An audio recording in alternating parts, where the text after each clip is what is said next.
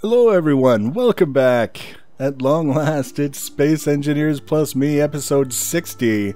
I'm Enigmius, and today we're going to get a look at things the way they're going to look when they're uh, basically finished. We're not quite done, but we're getting much, much closer.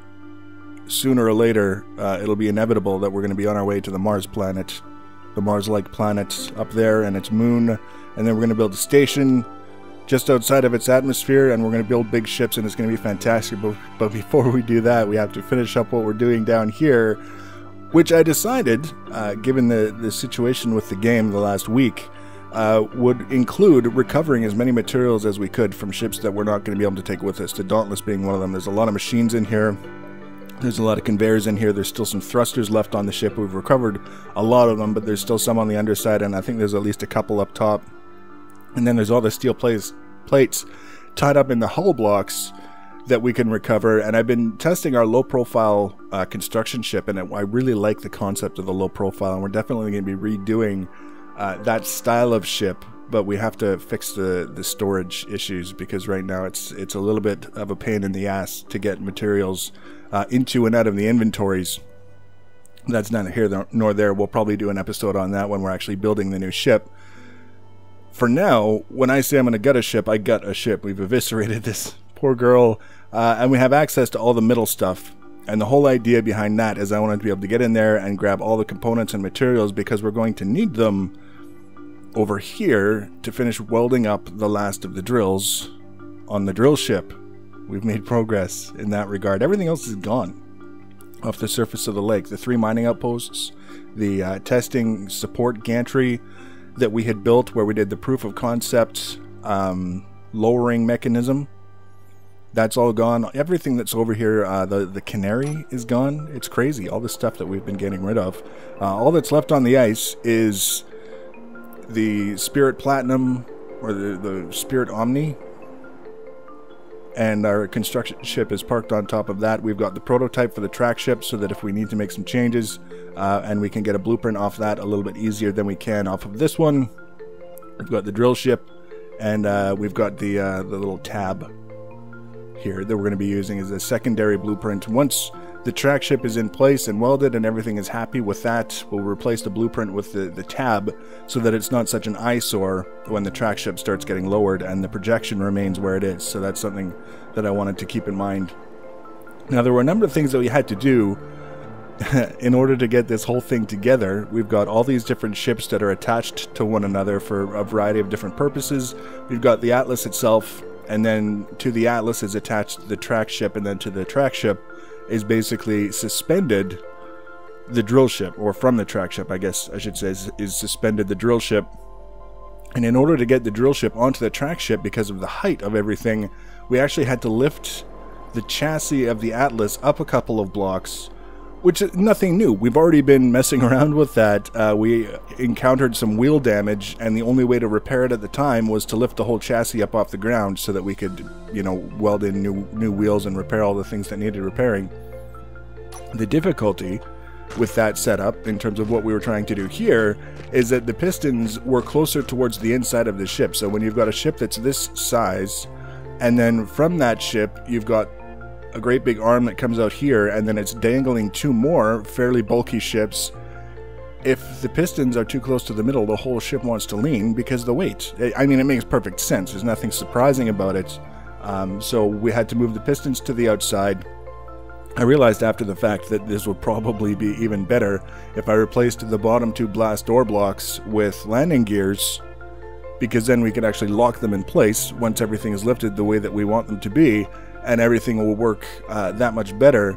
And in fact, while mining, you could lock the whole thing in place, lift the whole thing up off the ground so you're not worried about what's happening with the weight of the ship, the stuff that you're gathering and processing relative to what the wheels can hold.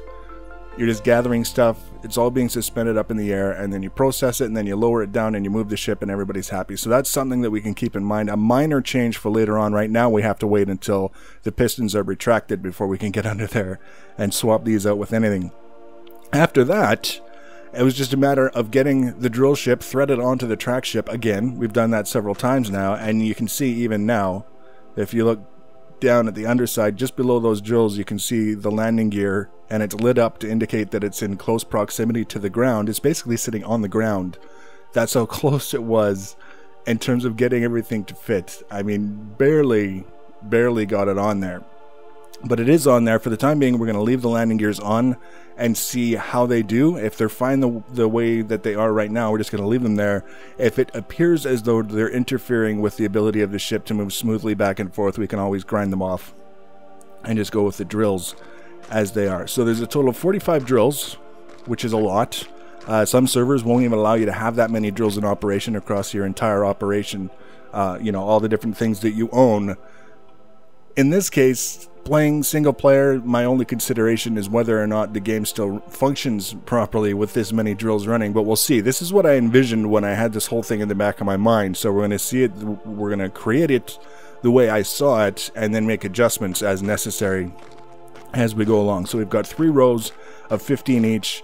There's a lot of materials that go into each of these drills in terms of the volume, which meant a lot of trips to and from inventories, refilling my personal inventory, the 4,000 liters I'm allowed to carry on my person to weld these things up.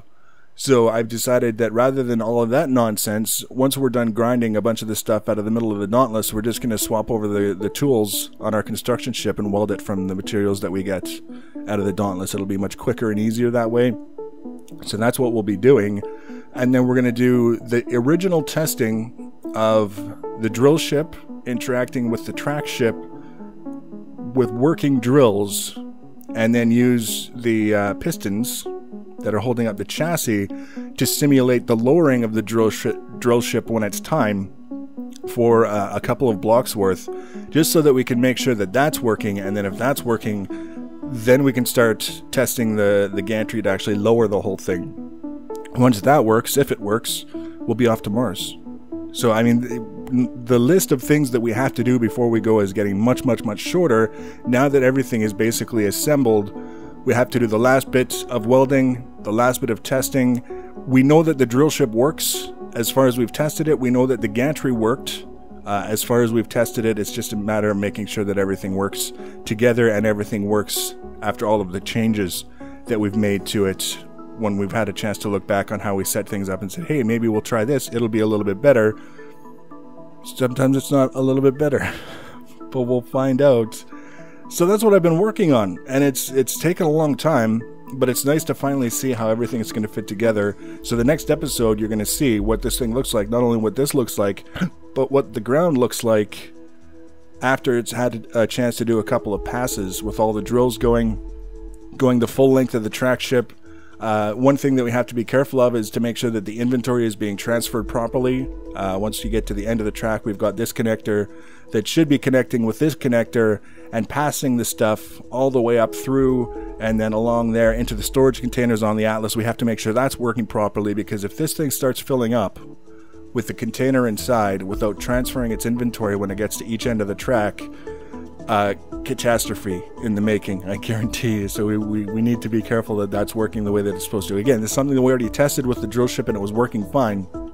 We just have to make sure that it continues to do so once we've got the drills dangling off the end and uh, and doing what the drills are supposed to be doing. So next episode, uh, expect to see something that looks like something that has been working and is almost ready to go to Mars. I would so love to just be on our way to Mars right now. That would be such a treat. So if you want to be notified when I add that video, the easiest way to do that is to subscribe to my channel or follow me on social media. Links for social media are always in the information box below the video. Feel free to leave your comments and feedback. Thanks for watching, guys, and take care.